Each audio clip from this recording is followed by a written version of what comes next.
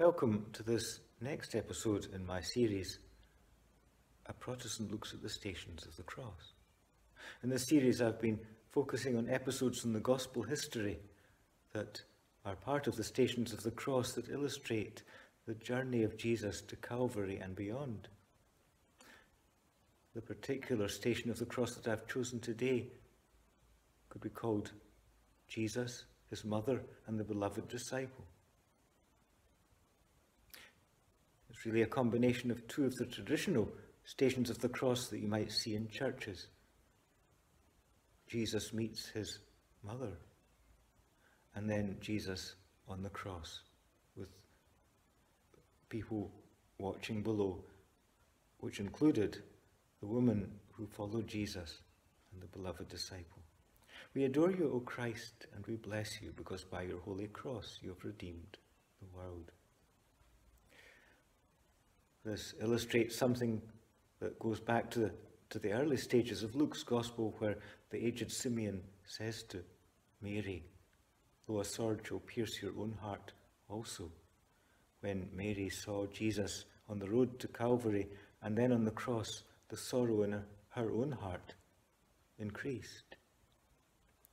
We're told that standing by the cross of Jesus, there was Mary, his mother, Mary, the wife of Clopas, his mother's sister, and Mary Magdalene, and also the beloved disciple. And Jesus looked at Mary, his mother, and the beloved disciple, and he said to Mary, his mother, Behold your son, and to the beloved disciple, Behold your mother. And from that time onwards, the beloved disciple took the mother of Jesus into his own home. We might find some discussions amongst scholars about whether the beloved disciple was a close blood relation of the family of Jesus. That doesn't really affect what I'm thinking about today, which is partly that Jesus made provision for his mother in the days that he saw coming ahead, where he would no longer be walking the earth as he had done before, and therefore no longer able to support her. And that's of particular relevance, perhaps, to me and to others this year in times of lockdown, when we are no longer able to visit our family members in the way that we would like. And to some degree, we are relying on others to take the place that we would have or do in this situation.